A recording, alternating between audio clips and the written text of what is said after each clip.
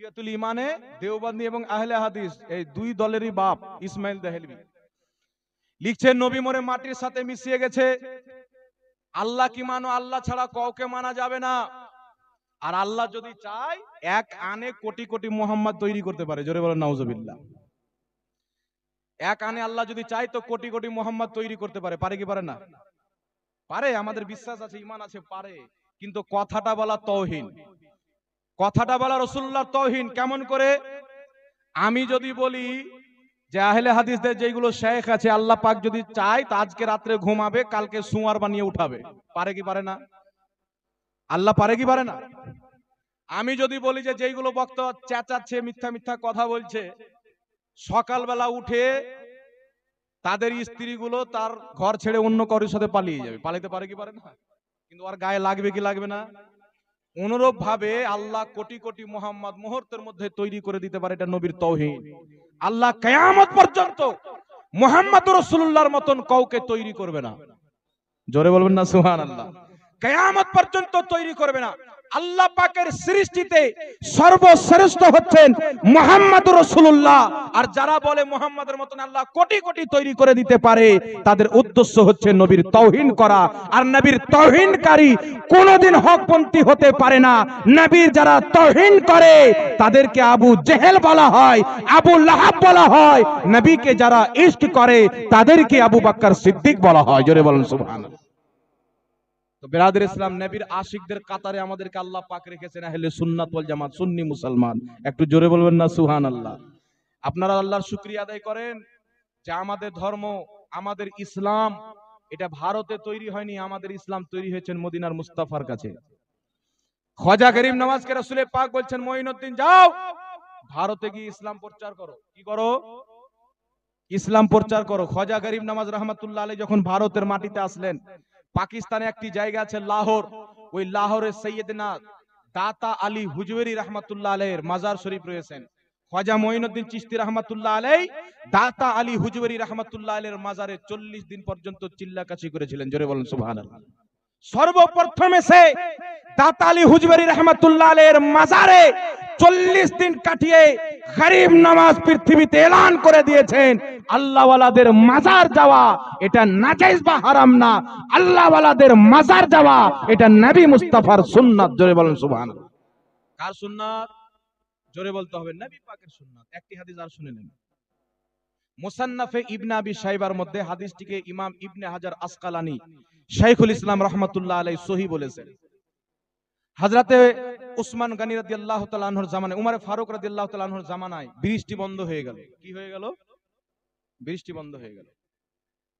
তো তিনারি খাজিন মালিক দার বর্ণনা করেন, একজন ব্যক্তি রাসূলুল্লাহ রওজা মুবারকে গেলেন। কোথায় গেলেন? রাসূলুল্লাহ রওজা মুবারকে। যাওয়ার পরে বলছেন, ইয়া রাসূলুল্লাহ, আপনার উম্মত বৃষ্টির জন্য হালাক হচ্ছে। বরবাদ হচ্ছেন, ধ্বংস হয়ে যাচ্ছেন, মারা যাচ্ছেন। হুজুর একটু বৃষ্টির ব্যবস্থা করেন। বলে টলে চলে এসেছেন, রাত্রে ঘুমিয়ে আছেন। রসুল পাক সাল্লাহ সাল্লাম স্বপ্নতে এসে বলছেন যে আমার সাহাবীর খাজিন, তুমি আমার সাহাবী উমারে ফারুককে আমার সালাম বলিও। জোরে বলেন সুবহান আর বলিও বৃষ্টি হবে। সকালবেলা যেমনই হাজরাতে উমারে ফারুকের খাজিন এসে বলেছেন রসুল পাক আমার স্বপ্ন দেখছিলেন, আপনাকে সালাম দিয়েছেন। আর বলেছেন, বৃষ্টি হবে।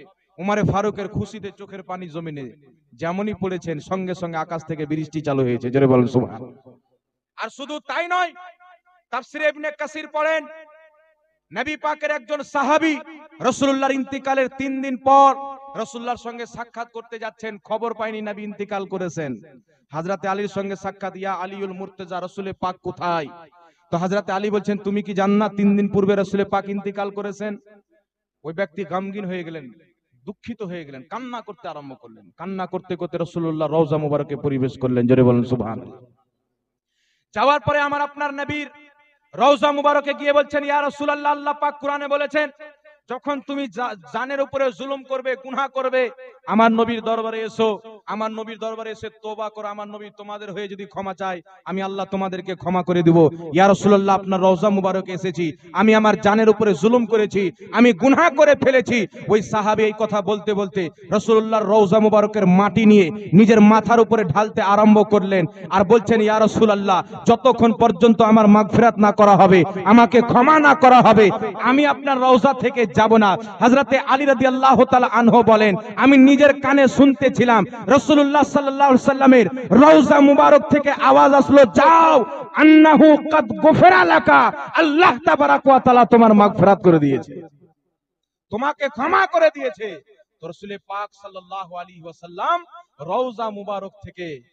তার সাহায্য করছেন। জোরে বলেন না তুমি যে কাজের জন্য আমার দরবারে এসেছ আল্লাহ তাবারাক ওয়া তোমার কাজ পূর্ণ করে, তোমার যে জানের উপরে জুলুম করেছ, গুনাহ করেছ, আল্লাহ তাবারাক কোয়াতালা তোমাকে ক্ষমা করে দিয়েছেন। জোরে বলেন, সুবহানাল্লাহ।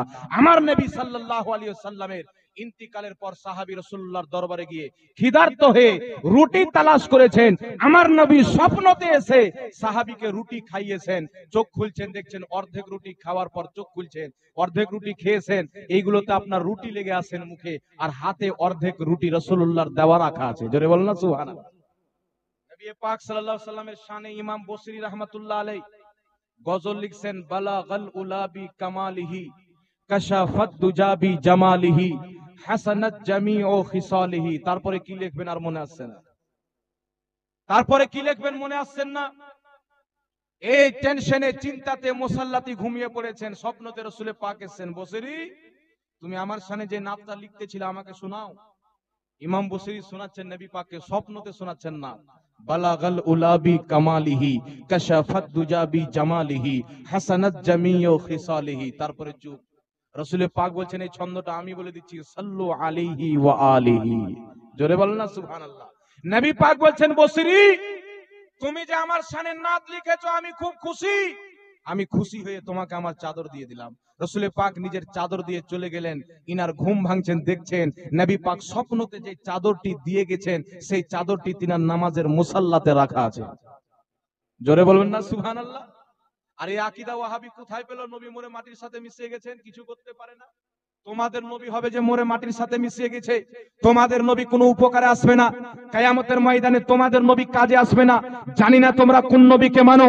কিন্তু শোনো, যেই নবীর প্রতি আবু বকর সিদ্দিক ঈমান এনেছেন, যেই নবীর প্রতি উমারে ফারুক ঈমান নিয়েছেন, যেই নবীকে আল্লাহ তাবারাক ওয়া তাআলা মক্কার মাটিতে পাঠিয়েছেন, যার নাম মুহাম্মদ ইবনে আব্দুল্লাহ, যেই নবীকে সুন্নি মুসলমান মানে সুন্নি মুসলমানের আকীদা। কিয়ামতের ময়দানে না নামাজে গুরুর আছে, না রোজাতে গুরুর আছে, নবী মুস্তাফার গোলামিতে গুরুর আছে, নবীর মহাব্বতে গুরুর আছে, নবীর ইশকে গুরুর আছে। কিয়ামতের ময়দানে সুন্নিকে যদি জান্নাতে নিয়ে যেতে পারে, নবী মুস্তাফার শাফাআত নিয়ে যাবে, জোরে বলুন সুবহানাল্লাহ। নবী পাকের শাফাআত নিয়ে যাবে।